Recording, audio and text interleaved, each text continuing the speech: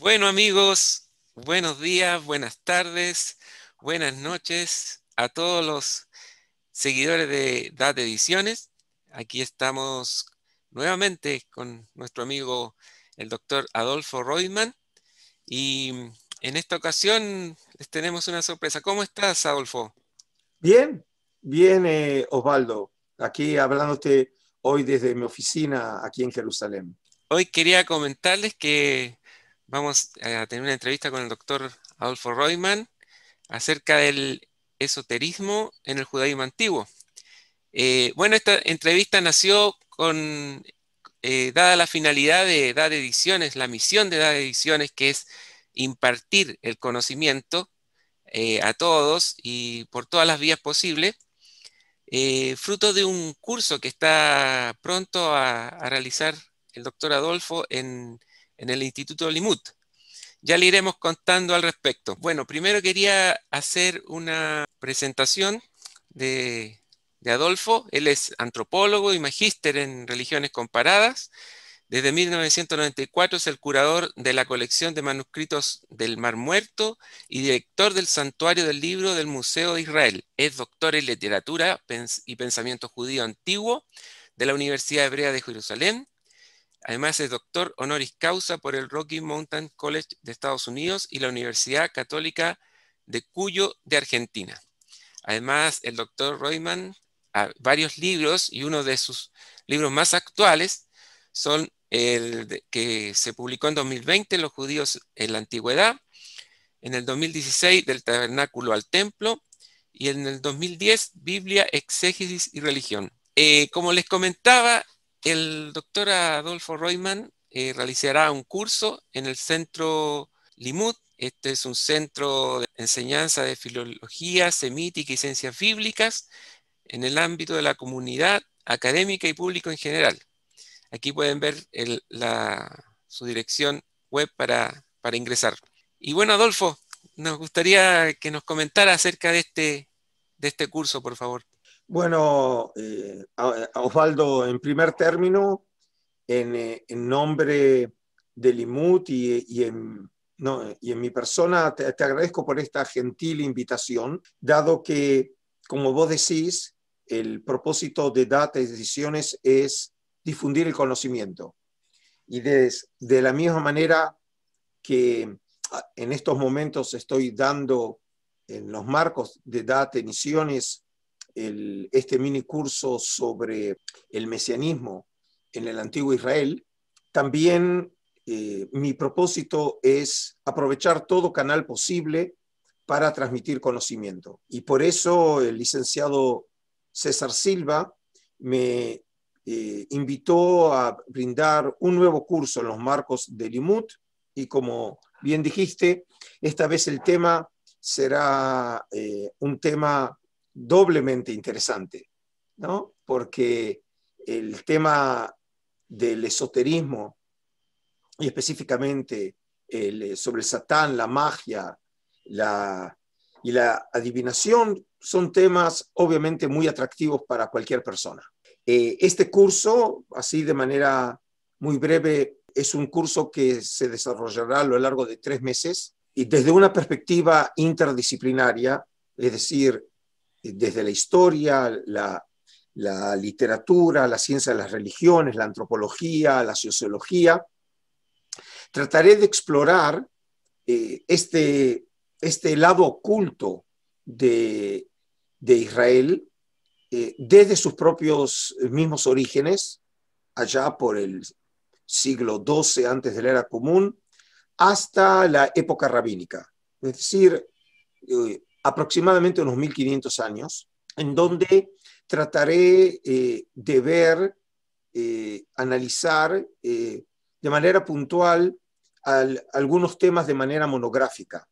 por ejemplo, vamos a explorar el tema del origen del mal, o por ejemplo, el tema de la angiología, o la figura del satán, o los demonios, por un lado, y por el otro lado, por ejemplo, eh, una de las clases habrá de dedicarlo a la figura de los profetas y hechiceros, o el tema de la adivinación, o el tema de la astrología. Es decir, en última instancia, frente a las perspectivas más tradicionales de cómo evaluar la religión eh, de Israel, mostrando en muchos casos eh, sus aspectos filosóficos o racionales, precisamente por mi trasfondo antropológico. Aquí eh, me intereso particularmente en ese lado esotérico del judaísmo, que muchas veces ha sido incluso presentado eh, a manera de sorna o desprestigiada. y la idea es mostrar que también esa dimensión en la fe de Israel tiene razón de ser. Mm, Súper interesante, Adolfo. Yo tenía algunas preguntas que hacerte respecto al, curso. y para ti, ¿la magia realmente era considerada idolatría en el tiempo que fue escrito el Humach o Pentateuco, los cinco primeros libros de, la Torá?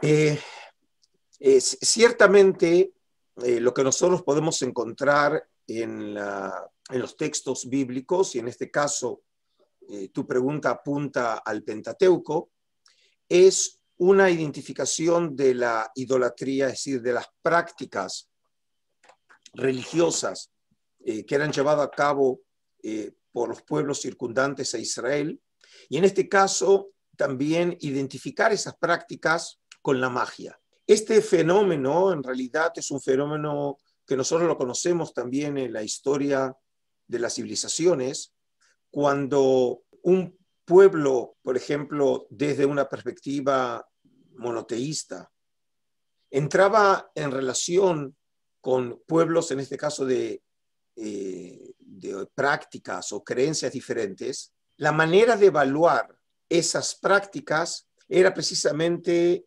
tildándolas de mágicas o de supersticiones en mi pasado antropológico, por ejemplo, cuando leí sobre la llegada de los españoles a América y se encontraron frente a las civilizaciones indígenas, sean los mayas o sean eh, los aztecas, que obviamente eran prácticas eh, totalmente diferentes a las practicadas por los cristianos. Ellos, por ejemplo, las consideraron como prácticas mágicas, obviamente de carácter idolátricas, y hasta tal punto que en algunos casos, por ejemplo, afirmaban que los indígenas adoraban al Satán. Es decir, que eh, frente a prácticas diferentes, los cristianos adoptaron una estrategia de carácter eh, etnocéntrica, con el propósito de denostar y criticar, eh, obviamente, las prácticas, lo que llamaríamos hoy ya las llamaríamos del otro.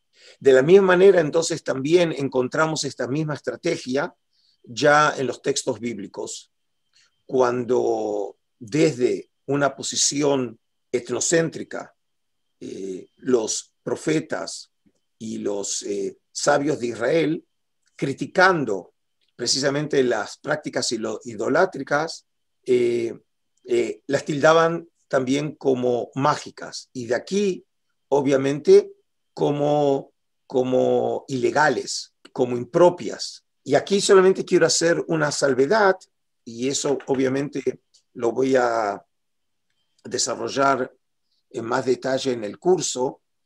Nosotros los occidentales, cuando pensamos en las categorías de magia, desde un punto eh, o una perspectiva racionalista, lo vemos como realmente como prácticas ineficaces, digamos que son propias de la ignorancia o propias del desconocimiento de cómo funciona el orden del cosmos, pero desde una perspectiva racionalista, nosotros no le otorgamos a esas prácticas realmente una validez. Desde la perspectiva bíblica, la magia o el concepto de magia es diferente.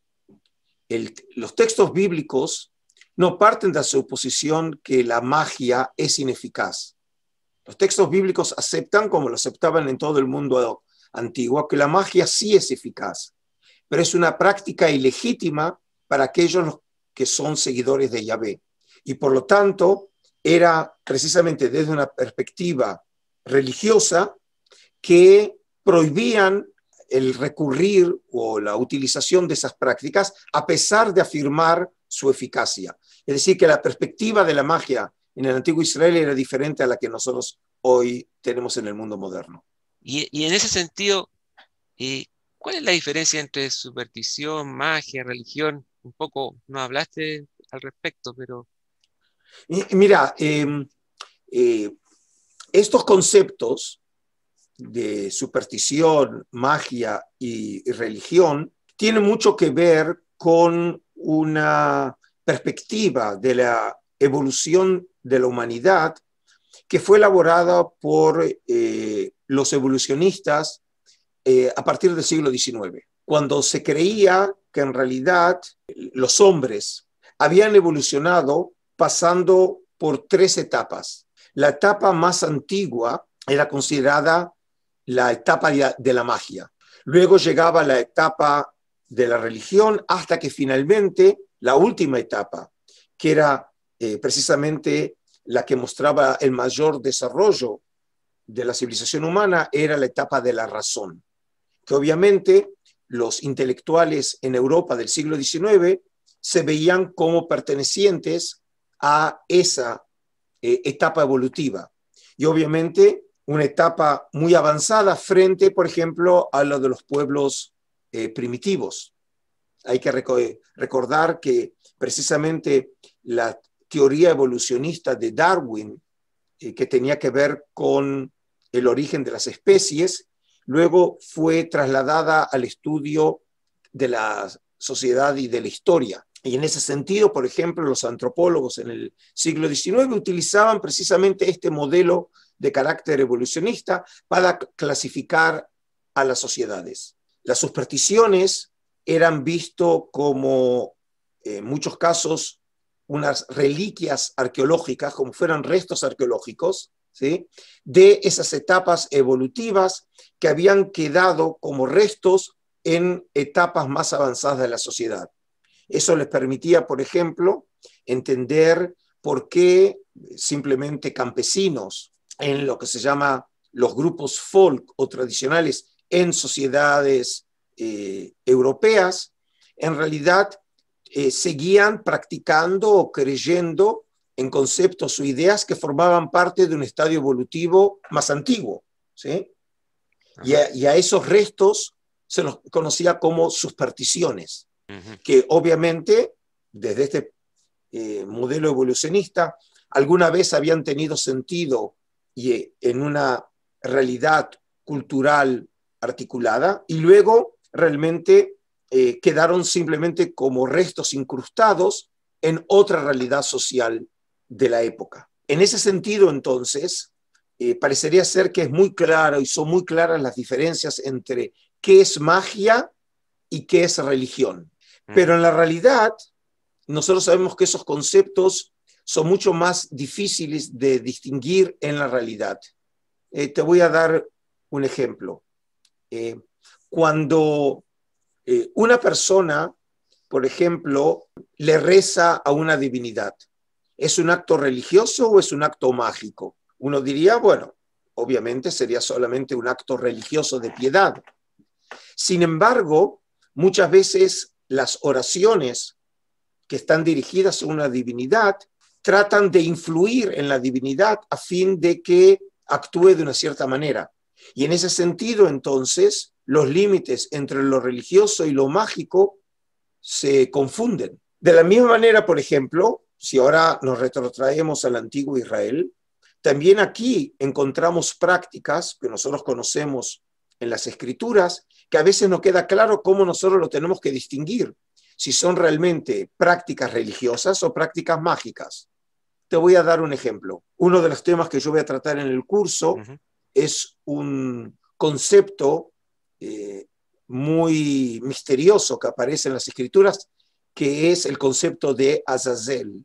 Azazel solamente aparece una sola vez en las escrituras, que es en el libro de Levítico capítulo 16, y tiene que ver con el ritual de lo que llamamos el día de la expiación, un ritual en el que el gran sacerdote, el sumo sacerdote Aarón, tiene que elegir dos carneros uno que va a ser sacrificado para Yahvé y el otro eh, va a servir para cargar los pecados de Israel.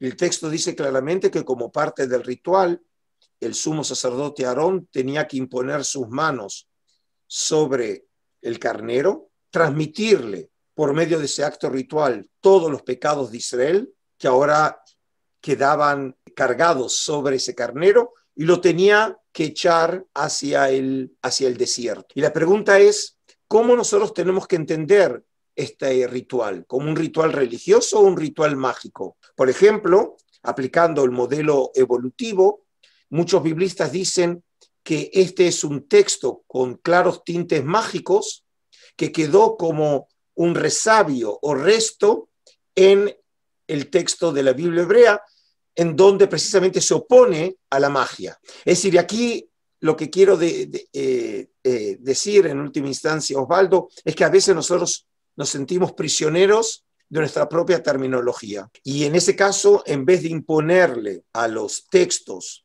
nuestras categorías de superstición, magia y religión, tenemos que ser un poco más flexibles en el uso de, de estas terminologías y permitirles a los textos que nos digan lo que tienen que decir. Y ahondando más en este, este tema de la magia, ¿qué, ¿qué, diferencia existiría entre el milagro y la magia exactamente? Bueno, precisamente de la misma manera que vimos que a veces una misma acción puede ser eh, llamada acción mágica o, o religiosa, y como dijimos muchas veces, en realidad la diferencia no está tanto en el hecho mismo, sino quién es el que llama por su nombre a la acción. Y eso tiene que ver también con una posición, en este caso, eh, política o de polémica. ¿eh? Y entonces lo que uno llamaría que es religioso, el otro lo llamaría que es mágico. Volviendo al ejemplo que antes eh, yo dije, los españoles cuando trataron de catalogar los rituales de los aztecas y mayas, lo llamaban obviamente idolatría. ¿Por qué? Porque la manera de evaluar esos rituales era desde la fe cristiana. Y obviamente esas prácticas y creencias no se podían articular dentro de una fe cristiana.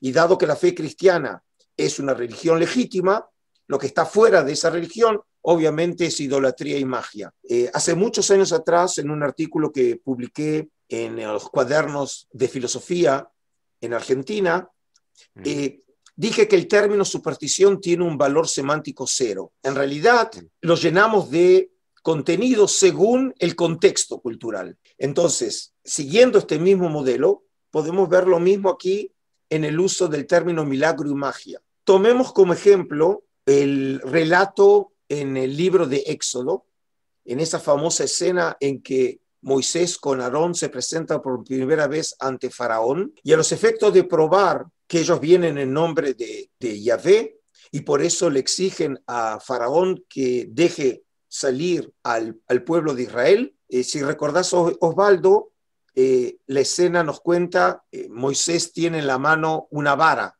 y lo que hace entonces, tira la vara y la vara se convierte en una serpiente. Y entonces Faraón llama a lo que el texto bíblico los ve como magos, hartumim. Y el texto bíblico dice que ellos con un, con un ardid que hicieron, también tiraron la vara y se transformó en serpiente. Ahora, si yo hubiera estado presente en ese momento como antropólogo y hubiera visto esa escena, en realidad lo que yo vi es que los dos hicieron exactamente lo mismo, ¿no? Es decir, el texto bíblico lo presenta uno como ot, es decir, como una señal, como una acción milagrosa que prueba el poder de Yahvé, y en el otro caso lo cataloga como un acto de magia, de ficción, como si fuera un acto fake hecho por los magos. Pero en la realidad los dos hicieron lo mismo. Pero el texto dice, ¿qué es lo que sucedió después? La serpiente, digamos, la vara de Moisés que se había convertido en serpiente, se come a la serpiente de los magos. Es decir, en ese caso muestra que la magia de Moisés, entre comillas, es más poderosa que la magia de Faraón. Pero el texto bíblico lo presenta a uno como un hecho milagroso. ¿Por qué? Porque es legítimo, porque fue hecho por Yahvé.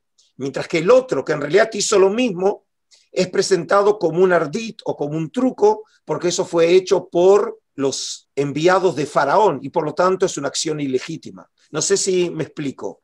Sí, sí, te entiendo. Es decir, el texto bíblico no es una descripción antropológica de la escena, sino está, eh, la escena está descrita desde una perspectiva polémica. Y por eso el uso de qué es milagro y qué es magia está en función de una perspectiva teológica.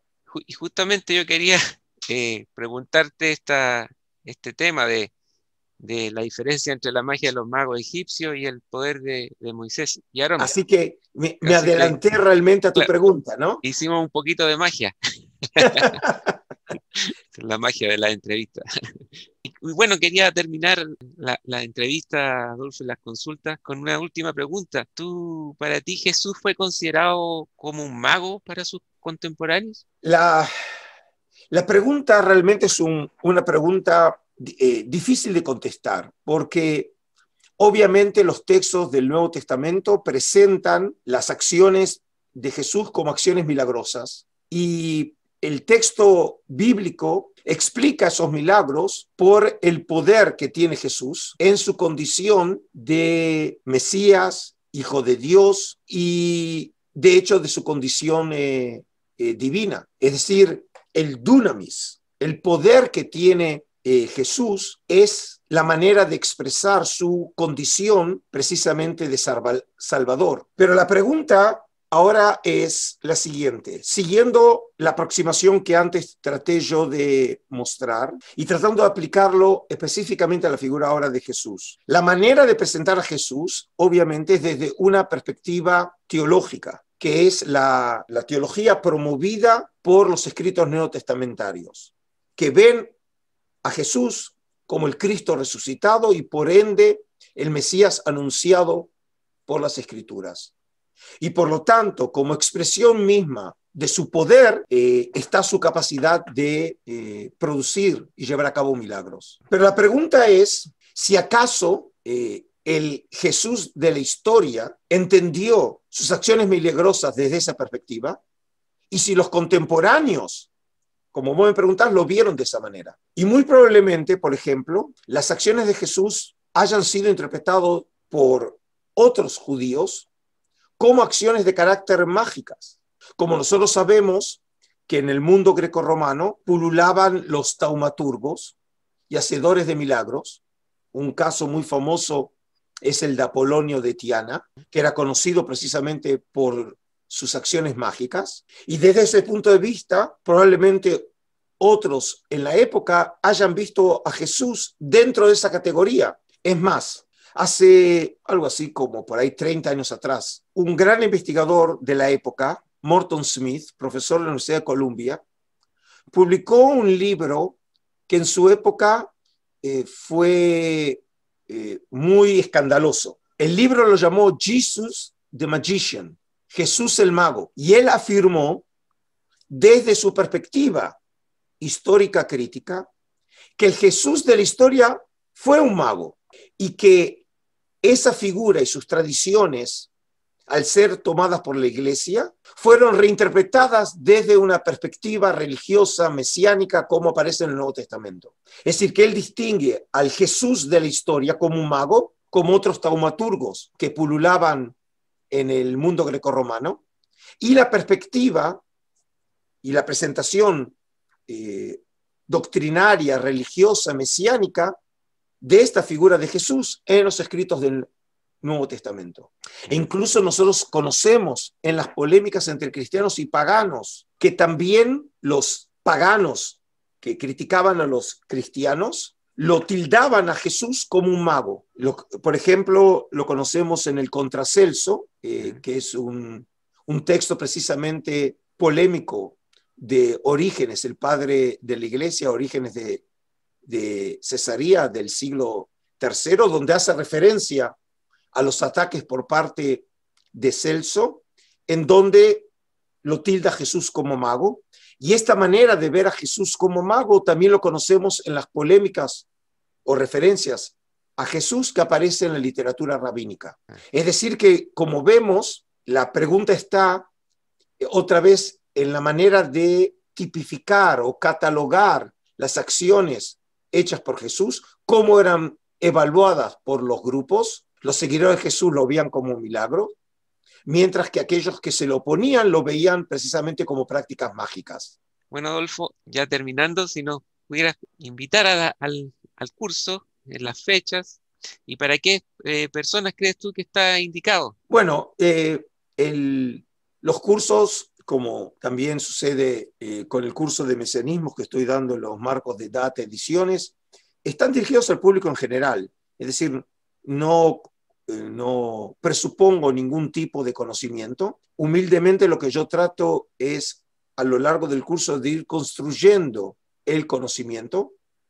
Eh, así que en este caso no hay que tomar un curso previo ni en estudios bíblicos, ni en estudios semíticos, ni en religiones antiguas, sino simplemente venir con muchas ganas de aprender y entrar en este mundo fascinante, ¿no? sumergirse en este mundo fascinante que son precisamente los, los estudios bíblicos. Muy bien, Adolfo. Bueno, muchas gracias y espero que sea todo un éxito este yo encuentro sumamente interesante este, este curso. Y bueno, eh, supongo que se van a la primera clase el 6 de mayo, ¿no es cierto? Es cierto, ya estamos muy próximos al comienzo del curso y nuevo, nuevamente eh, te agradezco en nombre mío y de César, tu gentileza de haber abierto las puertas de Data Ediciones para eh, presentar y por medio tuyo a tu público eh, este curso que en última instancia el gran propósito es abrir la pirámide del conocimiento, ampliarla y presentarles a, toda persona eh, de buena voluntad nuevas perspectivas en la manera de evaluar la fe de Israel. Exactamente, esa es la misión de Edad Ediciones. Entonces, para mí el, agradecimiento es hacia ti, Adolfo, por difundir el conocimiento y darnos esta oportunidad a todos los que quieran escucharlo. Muchísimas gracias. Gracias a, ti. Adiós, Osvaldo, y saludos desde Jerusalén. Saludos también desde Chile. Que esté muy bien. Adiós. Adiós.